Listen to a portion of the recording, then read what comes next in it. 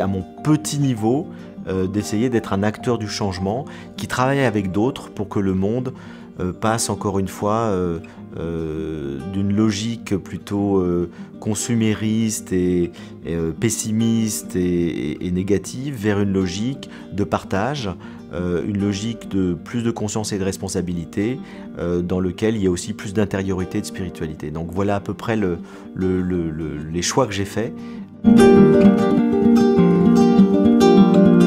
Part que bah, je dénonce les, je dirais, les grandes crises du monde en essayant d'expliquer euh, comment est-ce que nos comportements, nos modes de vie, le système dans lequel on est, est destructeur à la fois pour la planète, pour les sociétés, pour les individus.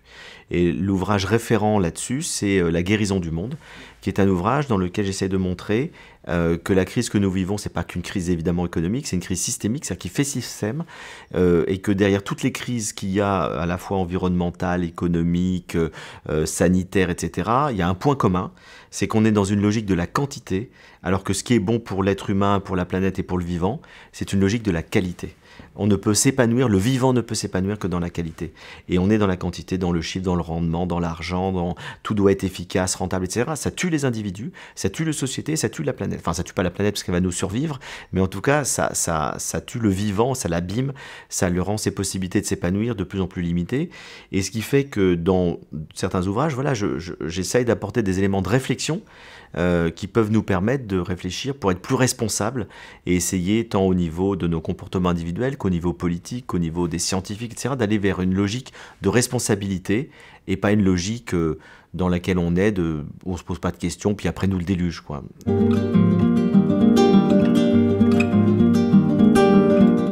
Déjà, euh, je suis pas du tout d'accord quand on dit que tout va mal. Euh, je pense que c'est une fausse perception de la réalité. Je voyage énormément et je, vois partout dans le monde un tas de gens qui sont très heureux. D'ailleurs, si on fait les enquêtes mondiales, euh, ça a été fait hein, par des, instituts américains, sur le bonheur dans le monde, mais 80% des humains se disent heureux, y compris dans des pays pauvres, y compris dans des pays où ils ont à peine de quoi euh, vivre. Donc finalement, c'est faux de dire tout va mal dans le monde. Et je pense que le monde va beaucoup mieux qu'il n'a été dans le passé. Euh, on a quand même résolu énormément de problèmes de violence collective. Certes, il y a du terrorisme, certes, il y a des guerres, mais c'est rien par rapport à ce qu'il y avait dans le passé, où les gens se faisaient la guerre en permanence. Euh, le XXe siècle a vu des millions de morts à cause des guerres. Aujourd'hui, au XXIe siècle, je pense que euh, on a quand même des conflits qui font infiniment moins de morts. Simplement, ils sont impressionnants parce que c'est du terrorisme diffus, etc. Donc, mais donc, il faut être conscient qu'il y a moins de délinquance, moins de meurtres, moins de morts, qu'on a guéri mais énormément de maladies, on vit beaucoup plus longtemps, on a beaucoup plus de sécurité sociale, d'indemnité chômage, de protection qu'il n'y avait dans le passé. Le monde a globalement progressé. Euh, après, on a des problèmes nouveaux. C'est-à-dire que, évidemment, le consumérisme est en train de, piller la planète et le principal problème, c'est le problème écologique. Donc là-dessus, il faut faire face à ces nouveaux défis. Mais il faut être conscient que le monde va beaucoup mieux dans plein de domaines. Euh, la conscience de l'humanité a progressé également. On est plus sensible à la souffrance des autres qu'avant. Dans le passé, les gens n'étaient sensibles euh, que euh, à la souffrance de leurs proches, de leur nation. On se fichait complètement des autres.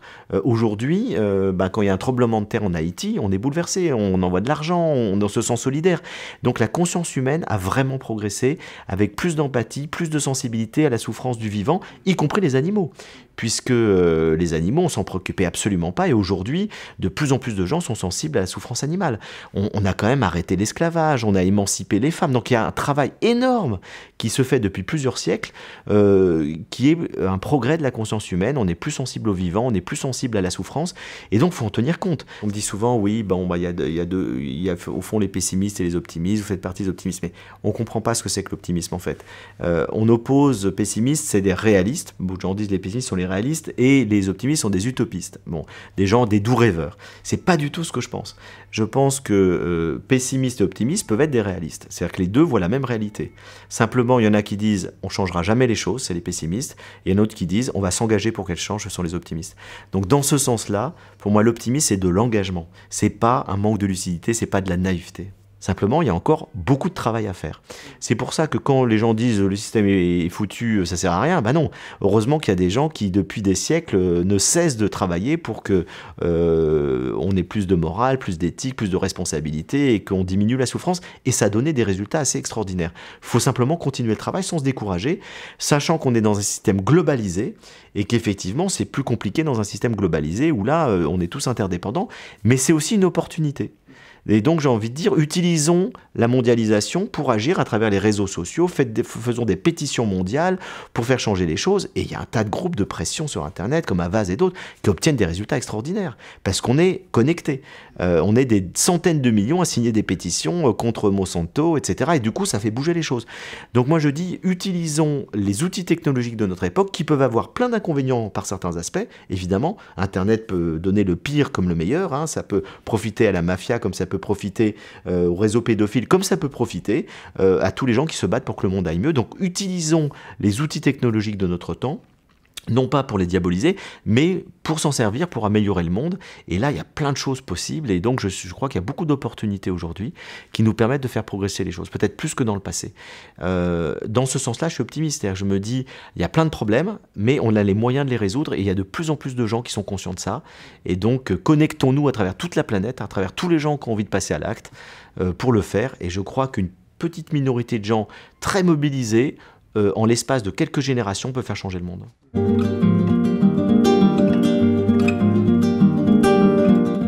Le fait de s'améliorer soi-même, je pense, est essentiel. Ce que j'appelle la spiritualité, c'est se transformer, s'améliorer. Je pense c'est essentiel au changement du monde. Euh, et donc, une des, une des phrases qui m'inspire le plus, c'est celle de Gandhi Soyez le changement que vous voulez dans le monde. C'est-à-dire, ça sert à rien de vouloir changer le monde si vous ne changez pas vous-même. Et donc commencez vous-même par changer votre esprit, par changer votre manière de, regarder les autres. Euh, il faut interrompre la violence à l'intérieur de vous. Si vous voulez arrêter, il y aura toujours des guerres si vous-même il, y a de la violence en vous. Et donc finalement, le travail sur moi, je, l'ai commencé depuis l'âge de, 15 ans. Et donc j'ai fait de, la psychanalyse, de la psychothérapie, euh, de la méditation, enfin toutes sortes de moyens et d'outils qui m'ont permis de me transformer. Et donc j'étais colérique, euh, avec euh, euh, des tendances émotionnelles très puissantes que j'arrivais pas à maîtriser, j'avais des tristesses au fond de moi qui étaient tout ce que Spinoza appelle les passions tristes, vous savez, des ressentiments, des colères, des tristesses, mais qui fait que du coup on est jaloux des autres, qu'on peut avoir des, actions violentes, impulsives, etc. Donc j'ai travaillé sur moi et évidemment ça m'a complètement transformé. Ce qui fait que je pense que c'est très important d'essayer de se changer soi-même si on veut être un artisan de paix. Euh, donc je l'ai fait pour moi et j'incite mes lecteurs à le faire.